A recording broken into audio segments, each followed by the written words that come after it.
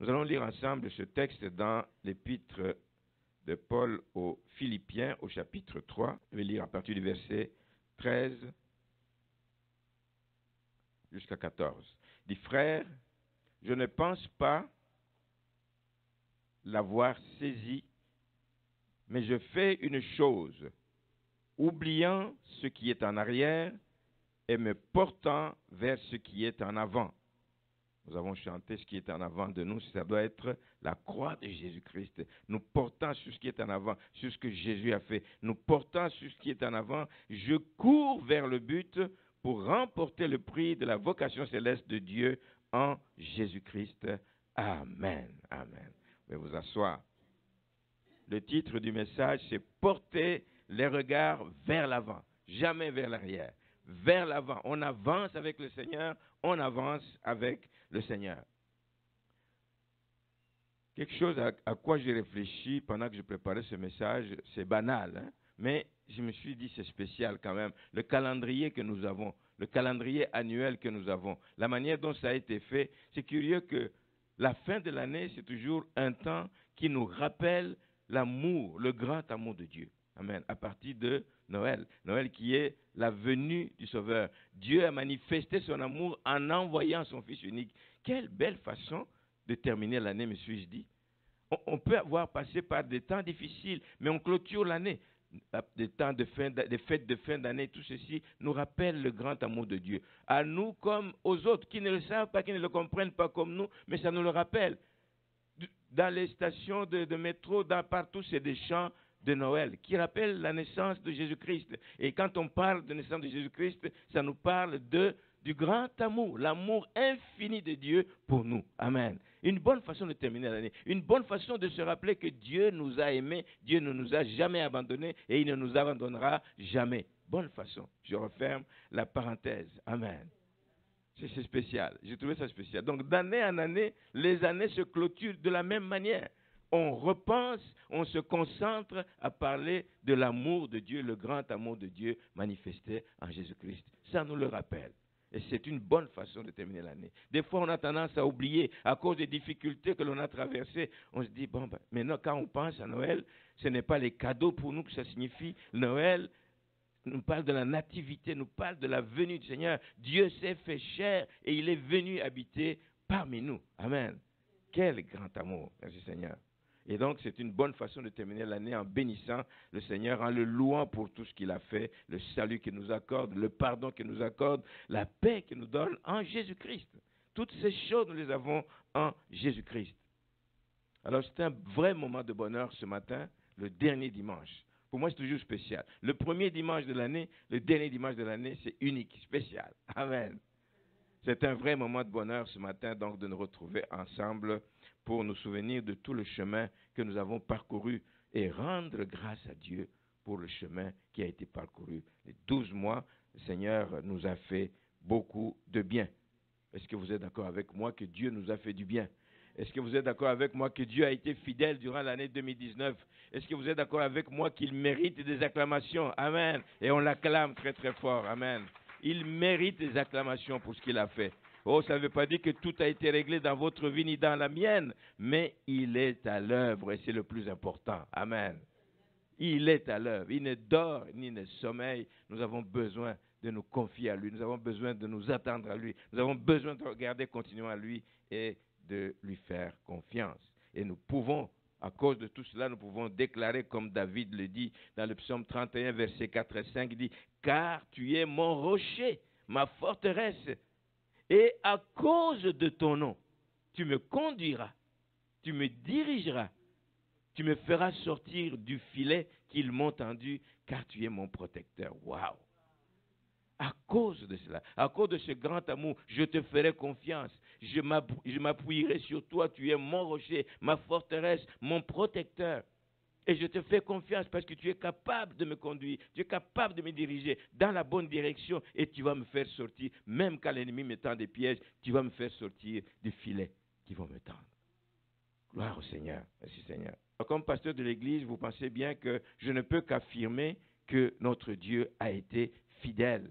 il a été fidèle. On l'a acclamé, on peut encore l'acclamer parce qu'il a été fidèle tout au long de l'année. Merci Seigneur. Il a été fidèle, frères et sœurs, parce qu'il nous a fait vivre des moments de joie. Il a été fidèle parce qu'il nous a fait vivre des, des moments de victoire dans les combats qu'on a pu avoir durant l'année. C'est lui qui a donné les forces nécessaires. Personne ne peut bomber le torse en disant j'ai combattu moi. Non, c'est lui qui nous a donné la force nécessaire pour lutter, pour accomplir le travail que nous avons eu à faire, chacun dans son domaine. C'est lui qui nous a permis d'arriver où nous sommes rendus aujourd'hui. D'abord comme individu, comme église, comme, euh, hein, comme individu. Il y en a qui, ont eu des promotions au travail, je ne l'ai même pas signalé. On bénit le Seigneur pour cela. Gloire au Seigneur. Comme individu, nous sommes arrivés à un niveau où c'est le Seigneur qui nous a donné les forces nécessaires, les moyens nécessaires de nous rendre jusque-là. Comme famille, comme Église également. Il n'y a pas de doute, frères et sœurs, que c'est lui qui nous garde et qui nous protège. Notre Dieu a aussi été fidèle, même s'il y a eu des moments difficiles. Même s'il y a eu des temps de pleurs, la vallée de Baca, la vallée de Baca, on la traverse, mais on n'y reste pas. Amen. Nous avons traversé par la grâce de Dieu. Il a été fidèle. Même si tu ne comprends pas toujours ce qui t'arrive, même si tu ne comprends pas toujours pourquoi ça t'arrive, Dieu est resté fidèle. C'est la vérité. La vérité demeure que Dieu ne nous a jamais abandonnés. Amen. Il nous dit même si vous passez par la vallée de l'homme de la mort, vous ne craindrez aucun mal parce que je suis avec vous. Même si vous passez par le feu, je suis avec vous. C'est lui qui nous relève.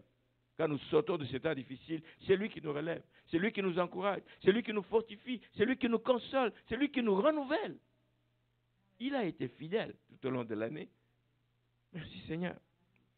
On peut ajouter que Dieu a été fidèle, il est resté fidèle, même lorsque nous, nous avons été infidèles. Oh, sa fidélité est grande. Même quand nous sommes infidèles, il ne nous rejette pas. Il continue à nous tendre la main. Il continue à nous donner l'occasion de continuer le chemin avec lui. Il continue à nous donner l'occasion de recommencer avec lui. Il est toujours disponible, même quand nous sommes infidèles. Il ne nous tourne pas le dos. Il ne dit pas je le, raye de mon répertoire il continue à, te parler. Par le Saint-Esprit, reviens à moi, reviens à moi. Dieu est fidèle et nous pouvons placer notre confiance en lui. Nous pouvons compter sur son secours, quoi qu'il nous arrive quoi qu'il nous arrive. Ça doit être une discipline à laquelle nous devons nous astreindre. Ça doit être une discipline que nous devons développer dans notre vie. Pas juste nous arrêter à pleurnicher et dire, cette fois-ci, c'est une tuile qui m'est tombée dessus, ça va m'écraser. Non. Même quand c'est sur toi que ça t'affaisse au plus bas, tu continues à crier à lui. Ses oreilles entendent ton cri. Amen. Et il viendra à ton secours. Merci Jésus. C'est ce que Paul nous recommande dans ce texte que nous sommes en train de lire. En fait, c'est une attitude qu'il nous recommande d'adopter. Une bonne attitude pour les enfants de Dieu. Une bonne attitude pour que nous puissions remporter le prix de notre vocation. Notre vocation, c'est d'aller au ciel, c'est de passer l'éternité avec Jésus-Christ. C'est à cela qu'il nous attend. La Bible nous dit qu'il est allé nous préparer une place. Pas pour qu'il reste vide, c'est pour que nous y allions. Amen. Nous sommes appelés, nous, sommes en route vers le ciel. Nous sommes en route vers la place que Jésus est allé nous préparer. Et dans sa prière, dans l'évangile selon Jean, chapitre 17, il disait, je veux que là où je suis, qu'il y soit aussi. Amen. Le Seigneur nous appelle à cela. Donc il y a une vocation et Dieu nous attend au ciel, passer l'éternité avec Dieu. Alors pour cela, l'attitude à adopter, c'est de courir courir sans relâche. L'enfant de Dieu ne marche pas. Nous courons. Nous courons. Nous courons et nous courons de plus en plus vite sans nous relâcher, sans nous disperser. Sans nous disperser, j'ai déjà apporté un message où je montre que les coureurs, là, quand ils sont en train de courir euh, en ligne, chacun reste dans, hein, dans les, tu ne peux pas sortir des lignes qu'on t'a tracées. Tu restes là-dedans, sinon tu perds des points ou des choses comme ça, ou tu es disqualifié. C'est ça, nous devons courir selon les règles, nous aussi. Courir sans relâcher, courir sans se disperser, courir sans regarder à côté, à gauche, mais courir en regardant vers l'avant. Pour cela, il faut oublier ce qui est en arrière. Tu ne peux pas courir en regardant en arrière. Jamais tu ne te rendras. Tout le monde va te dépasser. Nous courons en oubliant ce qui est en arrière, mais en portant les regards vers l'avant. Vers l'avant. C'est là qu'il y a le but. C'est là qu'il y a la coupe ou la couronne qui nous attend. C'est vers là que nous devons regarder. C'est vers la ligne d'arrivée. C'est un prix qui nous attend et une couronne nous attend. Merci Seigneur. Que Seigneur nous aide à comprendre ces choses. Que la vie chrétienne, c'est regarder en avant. Regarder en avant. Alors nous allons essayer de comprendre un peu ce que Paul veut dire. Est-ce que regarder en avant, quand on dit on court sans regarder en arrière, est-ce que ça veut dire qu'on efface tout ce qu'il y avait dans notre vie On ne regarde pas notre vie passée. Non. Nous disons compte les bienfaits de Dieu. Mais quand tu comptes les bienfaits de Dieu, tu vois aussi des moments de faiblesse qu'il y a eu dans ta vie, tu les vois. Mais tu ne t'arrêtes pas là-dessus. Ça ne veut pas dire d'effacer ce qui fait pas. Ça fait partie de ta vie. Les, les, les, mauvais coups que tu as eus, les faiblesses que tu as eues, les, les attaques que tu as eues, les, j'allais dire les failures, je ne sais pas comment. les faiblesses, on va dire, les faiblesses que tu as eues, ben, ça fait partie du passé. Tu ne peux pas t'attarder là-dessus. Et ces faiblesses du passé ne doivent pas te bloquer, ne doivent pas t'arrêter, ne doivent pas t'empêcher de vivre le meilleur que Dieu a pour toi. Dieu a le meilleur. Nous avançons vers ce qu'il a prévu pour nous, alors nous regardons vers l'avant, vers l'avant. Pas commencer à regretter ce qu'il y a en arrière en disant Ouais, mais l'année passée, j'aurais pu faire plus d'argent que c'est. Non, c'est du passé. Oui, à cause des erreurs que tu as commises dans ta gestion, peut-être tu as perdu de l'argent, mais que ça te serve de leçon pour qu'à l'avenir, tu ne commettes pas les mêmes erreurs, mais tu ne t'arrêtes pas là-dessus. Tu ne passes pas ta vie à te morfondre, à, à pleurnicher sur les histoires qui sont passées. Ne pas regarder en arrière, frères et sœurs, c'est de dire simplement, je décide de ne plus y accorder beaucoup d'attention. Ça fait partie de ma vie. Si je suis tombé l'année dernière dans le péché, ça fait partie de ma vie, mais je ne peux plus m'attarder là-dessus. J'ai changé de vie, je suis allé de l'avant. Donc, je n'accorde plus beaucoup d'importance et rien de tout ce qui est du passé ne doit me bloquer. Je vais entrer dans l'année 2020 avec toute ma force, toute mon énergie, avec une foi ferme et une foi forte. Je vais débuter l'année comme ça. Amen, amen. Et il y a des personnes, j'aime prendre exemple sur des personnes dans la Bible. Des personnes qui nous ont donné l'exemple, qui ont appliqué ces principes que Paul parle, dont Paul parle ici. D'abord, on va commencer par lui-même. S'il en parle, c'est qu'il l'a fait dans sa vie. Hein. Paul lui-même en parle. Mais quand on dit qu'il ne regarde pas en arrière, ça ne veut pas dire qu'il a oublié son passé. Il n'a pas oublié son passé, il ne l'a jamais oublié, parce qu'il en parle à plusieurs reprises. Il en parle à plusieurs reprises. Il se souvient comment il a été persécuteur de l'Église. Il s'en souvient très bien. Et si vous allez dans l'épître euh, qu'il adresse à Timothée, son fils, dans 1 Timothée, le chapitre 1er, juste lire quelques versets et puis on va continuer. Dans 1 Timothée, au chapitre 1er. Il nous dit ceci au verset 12. Il dit, je rends grâce à celui qui m'a fortifié, à Jésus-Christ notre Seigneur, de ce qu'il m'a jugé fidèle en m'établissant dans le ministère. De ce qu'il m'a jugé fidèle. Moi qui étais auparavant qui Un blasphémateur, un persécuteur, un homme violent. Mais il dit, mais j'ai obtenu miséricorde Alléluia, parce que j'agissais par ignorance dans l'incrédulité. Il en parle. Il en parle en disant, c'est ce que j'ai été dans le passé. Mais à cause du fait que j'ai obtenu miséricorde, ma vie a changé. J'ai commencé à regarder en avant. Je ne m'arrête plus à ces histoires du passé. Je commence à regarder. Parce qu'il a obtenu miséricorde, il a décidé de tourner la page sombre de son histoire et il s'est mis à regarder vers l'avant il s'est mis à regarder vers l'appel qu'il y a sur sa vie. Le Seigneur l'a jugé digne d'apporter l'évangile aux nations. Il dit, c'est à cela que désormais je vais travailler. Je ne vais pas continuer à regretter tout ça. J'en parlerai pour montrer d'où le Seigneur m'a sorti, mais je suis devenu une nouvelle créature, une nouvelle personne. Les choses anciennes sont passées, toutes choses sont devenues nouvelles. Il regarde l'avant, il regarde vers l'appel sur sa vie, et c'est la seule façon de ne pas traîner, évidemment, ce sentiment de culpabilité. Si tu ne regardes pas vers l'avant, tu vas tout le temps te rendre coupable et dire Waouh, waouh, si je n'avais pas fait ça.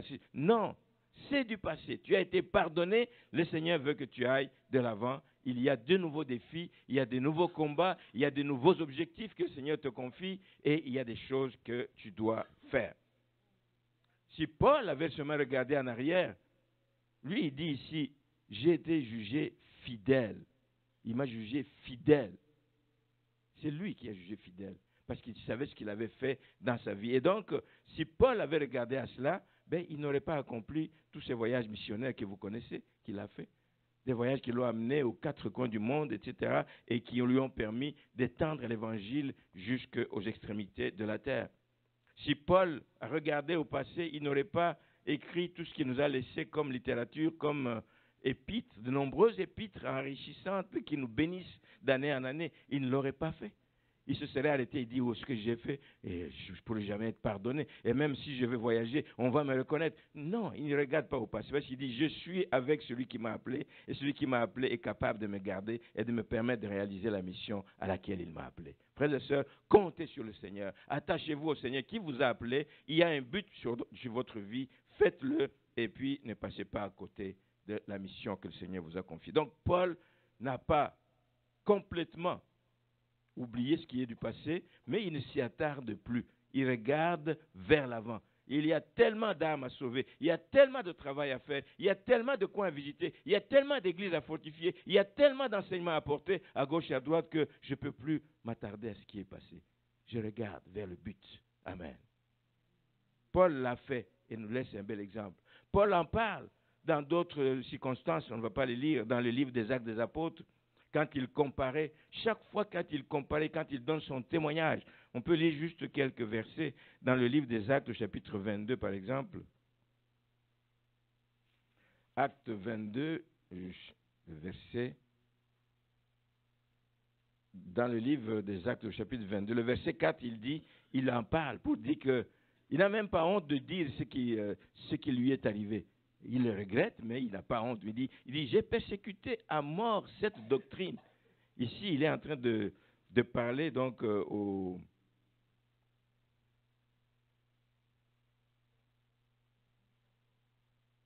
à la foule. Il, parle à, la foule, justement, donc, euh, quand il est à Jérusalem, il parle à la foule, il dit, euh, écoutez ce que j'ai maintenant à vous dire pour ma défense.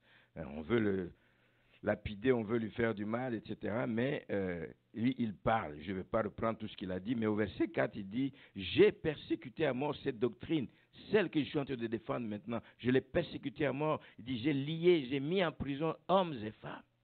Plus loin au, au verset 19, il dit, et je dis, Seigneur, ils savent eux-mêmes que je faisais mettre en prison et battre de verge dans les synagogues ceux qui croyaient en toi. Ils le savent et que l'on répandit le sang d'Étienne. Il, était, il dit, j'étais moi-même présent, joignant mon approbation à celle des autres et gardant les vêtements de ceux qui faisaient mourir Étienne. J'étais présent. Il ne cache pas son passé, il en parle, mais en fait, pour montrer que le Seigneur l'a délivré de toutes ces choses. Il y a un autre passage au chapitre 26, mais on ne va pas aller le lire.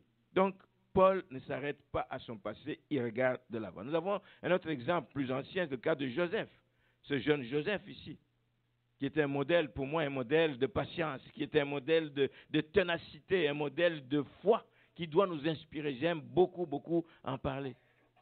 Vous connaissez son histoire, il a eu ces, deux visions, ces deux songes plutôt, euh, c'est-à-dire qu'il allait être élevé vis-à-vis de sa famille, vous connaissez la suite. Mais comment il a été vendu par ses frères, par jalousie, vous le savez. Mais lui n'a pas considéré, à travers toutes les étapes qui ont suivi, il n'a pas considéré qu'il a échoué dans ce que le Seigneur veut faire dans sa vie.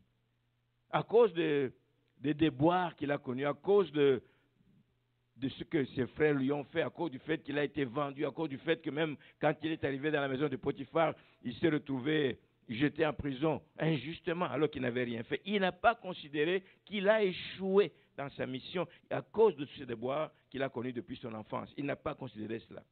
Mais il a continué à croire à ce que le Seigneur lui a dit. Amen. La ténacité. Il voyait le contraire, mais il a continué. Ça arrivera un jour. Il regarde vers l'avant. Il regarde vers l'avant. Le passé, c'est le passé. Je regarde vers l'avant où le Seigneur va me conduire. jusqu'à ce que ça se soit accompli.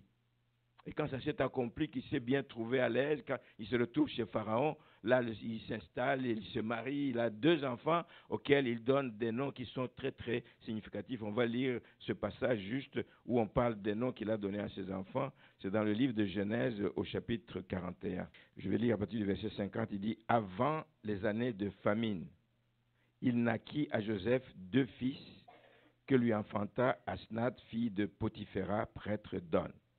Joseph donna au premier-né le nom de Manassé, car dit-il, Dieu m'a fait oublier toutes mes peines et toute la maison de mon père.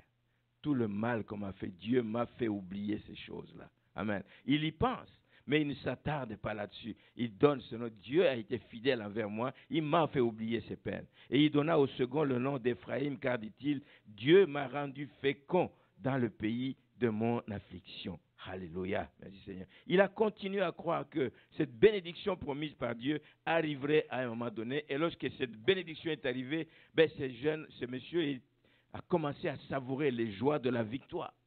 Il a commencé à savourer les joies de sa persévérance. Il a, commencé à savourer les joies que euh, Dieu lui réservait. Et lui ne s'est pas arrêté là-dessus.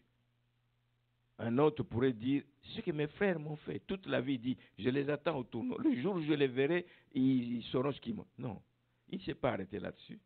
Il m'a fait oublier toutes les peines que j'ai connues par le passé.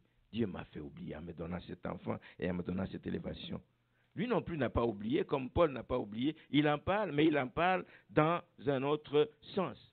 Alors, puissions-nous, nous aussi, comme Paul, euh, comme euh, Joseph, prendre exemple sur lui et, et ne pas rester otage des problèmes du passé.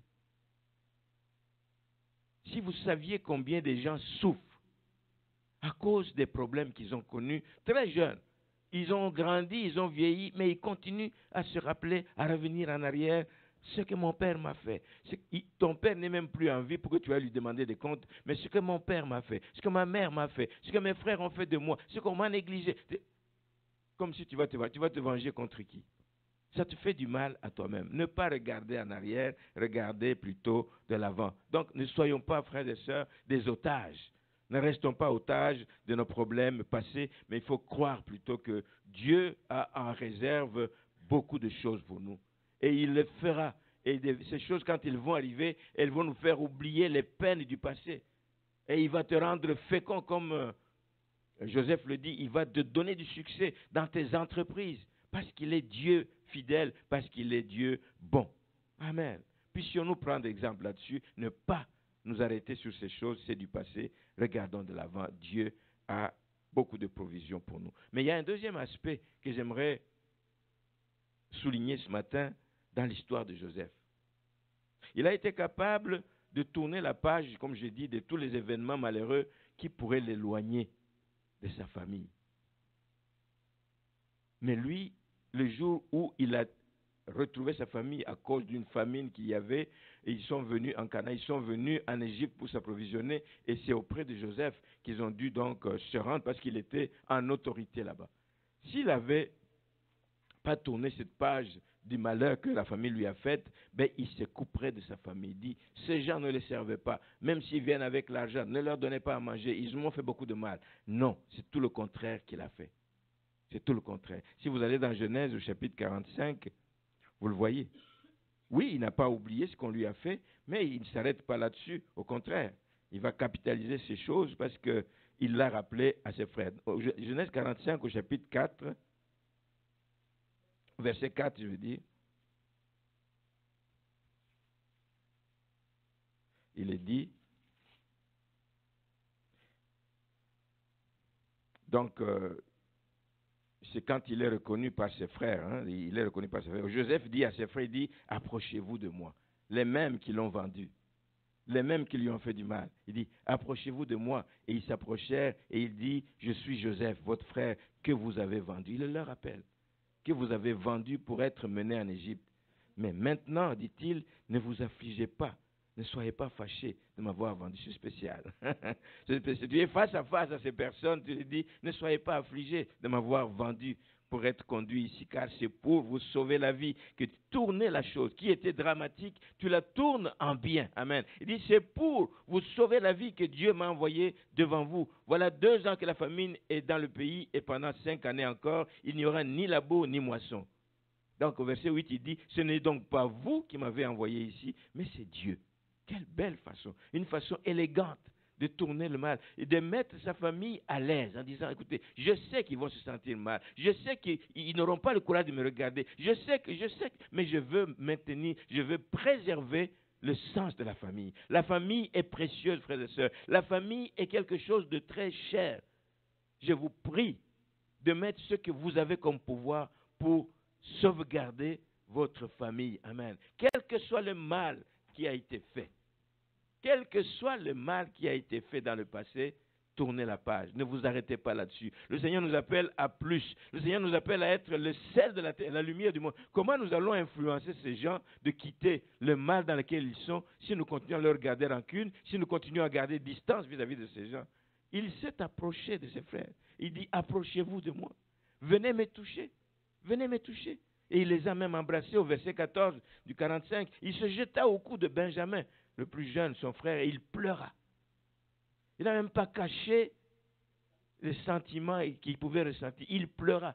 Toute autorité qu'il était, il pleura dans les bras de ses, petits frères. Il pleura. Et Benjamin pleura sur son cou. Il embrassa aussi tous ses frères en pleurant, après quoi ses frères s'entretèrent avec lui.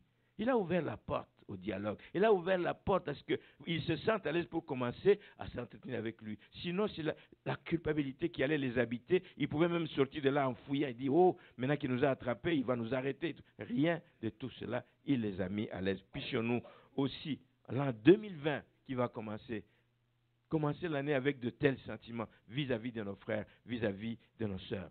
Cherchez à faire la paix, frères et sœurs. Là où il y a la friction, là où il y a des difficultés en famille, cherchez à effacer le point d'ombre, cherchez à passer par-dessus toutes ces barrières, toutes ces situations qui peuvent se dresser, etc., dans la famille biologique et même dans l'Église. J'aime souvent le dire, nous sommes une famille, mais même dans l'Église, on n'est pas euh, exempt de faiblesses qui peuvent faire que nous choquons, nous blessons l'autre, même dans l'Église. C'est le temps d'effacer ces points d'ombre et d'aller de l'avant. Que le Seigneur nous y aide et que l'année 2020 puisse bien commencer. Merci Seigneur. Le dernier cas que je vais aborder ce matin, c'est le cas de Jérémie.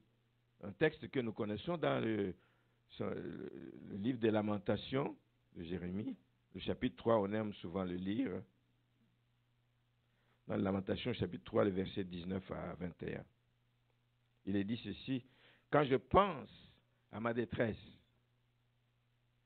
et à ma misère, à l'absinthe et au poison, quand mon âme s'en souvient, elle est abattue au-dedans de moi. Quand tu t'arrêtes à ces choses, quand tu t'arrêtes aux, pages sombres de ton histoire, quand tu t'arrêtes aux jours tristes que tu as traversés à cause du comportement de tel ou de tel dans ta famille, même biologique, même dans la famille spirituelle, quand tu t'arrêtes à ces choses, ton âme va être abattue. Regarde de l'avant. Qu'est-ce qu'il a fait lui? Il dit, voici ce que je veux repasser à mon cœur. Mon cœur doit être libéré. Mon cœur doit être clean de ce poison de cette détresse, de ces moments de misère. Je dois effacer ça de mon cœur et ce qui me donnera de l'espérance. C'est ce que je garde dans mon cœur, ce qui me donnera de l'espérance. L'espérance, c'est quelqu'un qui regarde de l'avant. Je regarde de l'avant, je dis, mais oui, j'ai passé par ce temps difficile, mais je dois me souvenir continuellement de regarder ce que Dieu a fait pour moi, ce qu'il est, qui il est et ce qu'il est capable de faire. Et il ajoute au verset 22 que les bontés, c'est ce que je dois repasser dans mon cœur, que les bontés de l'Éternel ne sont pas épuisées. Oui, oui, j'ai vécu des temps difficiles, mais Dieu n'a pas dit son dernier mot. Il dit, ses compassions ne sont pas à leur terme. Elles se renouvellent chaque matin. C'est quasiment chaque jour que tu dois faire le point. Chaque jour, tu regardes encore à lui. Seigneur, je sais que tes compassions ne sont pas à leur terme. Tu les renouvelles chaque matin. Tes bontés sont encore disponibles. Peu importe ce que j'ai vécu dans le passé, mais ces choses, je vais encore compter sur ça. Je regarde vers l'avant. Je ne regarde plus au passé. La détresse que j'ai vécue, c'est du passé, mais je veux regarder, repasser, continuer dans mon cœur et que les bontés de l'Éternel ne sont pas épuisées. Ces bontés sont disponibles pour nous aussi. Ces bontés sont disponibles aussi dans la vie de chacun de nous. Merci. Donc il décide de penser continuellement, non pas sa détresse, mais de regarder de l'avant, de repasser les bonnes choses que Dieu garde en réserve pour lui. Apprenons à nous tourner vers Dieu quand nous sommes dépassés par des situations. Quand euh, dans notre esprit, il y a des, images noires qui commencent à revenir et dire Ah, c'est à cause du fait que l'année passée, on t'a fait ceci. C'est à cause de. Non. Je tourne le regard vers le Seigneur. Les bontés de l'Éternel ne sont pas épuisées. Ses compassions ne sont pas à leur terme. Amen. Dieu est capable. Trois cas qui nous parlent. Trois cas qui sont des exemples à suivre. Trois cas desquels nous devons donc retenir qu'il faut à tout prix dans la vie des enfants de Dieu éviter de se fixer sur les échecs du passé. ce que je n'ai pas dit tout à l'heure, c'est que oui, quand on y pense, ça peut être une bonne chose de, penser à ces choses, etc., euh, parler des, échecs du passé, mais que ce soit une façon de dire je ne veux plus retomber là-dedans. Je veux, je veux faire mieux que par le passé. Donc, ne pas se fixer dessus, mais si on y pense, mais c'est pour qu'on fasse mieux la prochaine fois. Ne pas laisser libre cours dans notre vie à toutes sortes d'inquiétudes qui peuvent résulter de ces situations-là. Des inquiétudes peuvent venir. Le livre des Proverbes, chapitre 12, 25, nous dit que les inquiétudes finissent par abattre l'homme ça t'abat. Tu peux être géant, costaud comme tu veux, mais quand tu laisses les inquiétudes, ta place les inquiétudes dans ton cœur, mais ça finit par t'abattre. Et nous ne voulons que personne soit abattu ici à cause des inquiétudes. Amen. Regardons de l'avant, comptons sur le Seigneur. Il est vivant, il règne, il a des choses, toutes choses en contrôle. Mais je termine en, ajoutant que oui, nous parlons des échecs du passé qu'il ne faut pas regarder, mais il n'y a pas que les échecs. Il y a des gens qui, dans leur vie, se sont arrêtés à une victoire qu'ils ont eue dans leur vie. Ils ont un succès à un moment donné dans leur vie. Si vous avez eu du succès dans le passé, gloire à Dieu. Seigneur t'appelle à faire encore plus.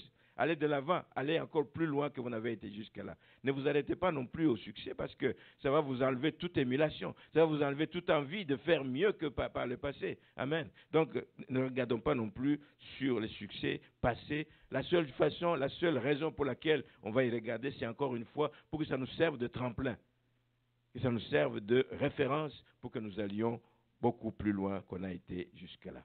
Et je vais terminer en disant que si notre passé peut être un frein, c'est de dont je parle ce matin, mais ce n'est pas le seul élément qui peut constituer un frein dans notre vie. Ce n'est pas le seul élément qui peut nous empêcher de continuer à courir, de continuer. Il y a tellement d'autres choses qui peuvent se présenter à nous.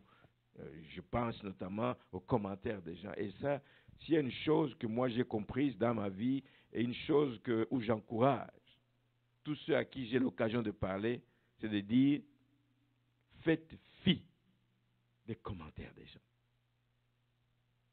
Sinon, peut-être pour en tirer des leçons. Parce que si c'est des commentaires qui sont fondés, qui vous montrent que vous n'avez pas agi, bien agi, etc., oui, prenez connaissance de ça pour vous améliorer. Mais si c'est des commentaires pour vous détruire, pour vous descendre, pour vous calomnier, c'est des commentaires qui disent des faussetés sur vous, n'allez pas en guerre contre les gens. J'ai dit toujours que les gens sont libres de dire et de penser ce qu'ils veulent de moi. Mais il m'appartient à moi de ne pas donner l'occasion aux gens de dire du mal de moi. Quand je n'ai pas donné l'occasion aux gens de dire du mal de moi, je ne tiens pas compte de ce qu'ils disent. Tu veux croire que je suis menteur? Tu veux croire que je suis voleur? Alors que je, sais que je ne le suis pas. Moi, ma conscience ne me reproche de rien. Libre à toi de le penser. Je ne peux pas empêcher quelqu'un de penser ce qu'il veut de moi. Mais moi, je vais m'assurer que je suis à l'aise dans ce que je fais. Je suis correct dans ce que je fais. Amen. J'encourage, frères et sœurs. ces choses ont arrêté beaucoup de gens dans leur course. On dit ceci de lui, oh il s'affaisse. On dit ceci de lui, il s'inquiète. On dit ceci, il court ici pour éteindre le feu, il court. Tu ne peux pas. Tu ne peux pas. Les mauvaises nouvelles vont très vite. Vont très vite. Ça se propage à une vitesse que tu ne peux pas atteindre pour aller l'arrêter. Laisse le bruit s'arrêter. Mais il y a quelqu'un qui nous justifie. C'est le Seigneur. C'est vers lui que nous regardons. Amen. Amen. Continuons la course. Continuons la course. Ne, perdons pas de temps en ayant un esprit qui est partagé, mais concentrons-nous sur ce que le Seigneur, le but que le Seigneur nous donne. Si les espions, les fameux espions qui sont allés, euh, non, qui sont allés plutôt voir, euh, visiter la terre promise, s'étaient concentrés sur l'objectif que leur Dieu, Dieu avait, donné, ils ont vu, ils sont entrés dans le pays, ils ont vu que c'est un pays où coule le lait, le miel, il y a des fruits, ils ont même amené des preuves. Mais en même temps, ils regardaient aux géants là-bas, les fils d'Anak. Et c'est ça qui a primé, ils n'ont plus compté sur l'objectif que Dieu, Canaan, que Dieu leur a donné, il dit, je vous donne ce pays. Et quand Dieu dit, je vous donne ce pays, il sait comment il va combattre pour vous. Est-ce que quand il a donné Canaan, il ne savait pas qu'il y avait des fils d'Anak? Il le savait. Mais lui n'a pas considéré son peuple comme des sauterelles. C'est eux qui se considèrent comme des sauterelles. À cause de ce qu'ils il voient, etc. Donc ne soyons pas partagés. Regardons de l'avant. Dieu nous appelle là-bas. Il sait comment nous allons y arriver. Il sait ce qu'il va donc nous donner. Sachons donc que Dieu quand Dieu appelle quelqu'un à une mission importante, ben, il faut que la personne se rende simplement disponible et que pour le reste, elle compte sur le Seigneur. Sans regarder à ses capacités, sans regarder à ses faiblesses. Si tu regardes à tes faiblesses, tu vas tout le temps avoir des raisons pour ne pas faire ce que le Seigneur te demande de faire. Je n'en ai pas les capacités, je ne suis pas capable, je ne suis pas formé pour, je ne suis pas. Si le Seigneur t'a appelé, il va te former. Amen. Il va te donner l'occasion de te former. Que le Seigneur vous bénisse et au seuil de l'année nouvelle 2020 que nous avons baptisé année de foi en action. J'ai entendu l'autre jour, euh, oui, dit que c'était l'année d'évangélisation. Oui, la foi en action va nous amener à faire l'évangélisation, mais le titre, on va dire officiel. Ça va être l'année de foi en action. Nous devons la mettre en action. Oui, dans l'évangélisation, mais dans tous les autres domaines aussi. La persévérance dans la prière, la persévérance dans la, fréquentation de nos assemblées. Il va falloir rester ferme durant l'année 2020 et résister aux manœuvres de l'ennemi qui ne veut que nous distraire. Nous distraire, nous arrêter dans notre marche chrétienne. Pendant ce temps, nous risquons de ne pas regarder en avant. Jésus-Christ revient bientôt et nous nous attendons à lui et à lui seul. Amen. Gardons la foi, frères et sœurs en ayant les regards fixés sur Jésus-Christ. Amen. Il est le rémunérateur de ceux qui le cherchent. Il est celui qui combat pour nous. Il est celui qui nous gardera. Il est celui qui nous fera arriver à bon port. Que le Seigneur vous bénisse. Amen.